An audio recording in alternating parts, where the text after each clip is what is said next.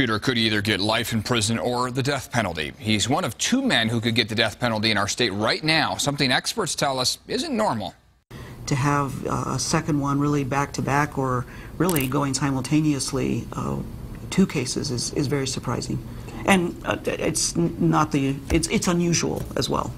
Right now, three men sit on death row in our state. In the U.S., the average wait time between sentence and execution is about 20 years because of appeals and reviews.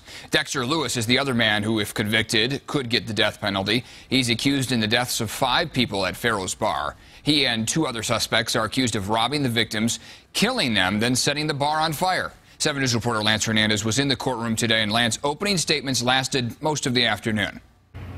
They did, Eric, and attorneys painting different portraits of the defendant. Dexter Lewis being charged with five counts of first degree murder, five counts of felony murder, as well as robbery and arson.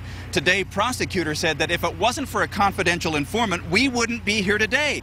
That informant told police that Dexter Lewis was angry at the Asian woman who owned the bar, Young Fero, because she'd kicked him out before. The defense attorney, though, says the informant was the one who helped plan that robbery and that Lewis was nowhere to be seen when the robbery was planned.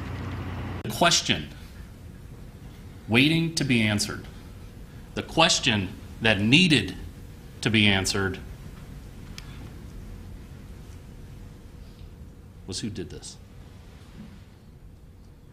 Who did this? At the end of this case, we'll come to you and ask you to hold this man accountable for what he did.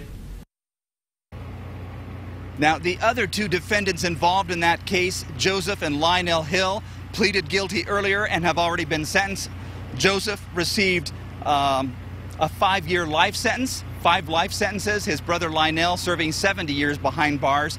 The defense attorneys pointed out that the confidential informant who was in the bar when that crime went down did not spend one day behind, in jail. Reporting live in downtown Denver, Lance Hernandez, 7 News.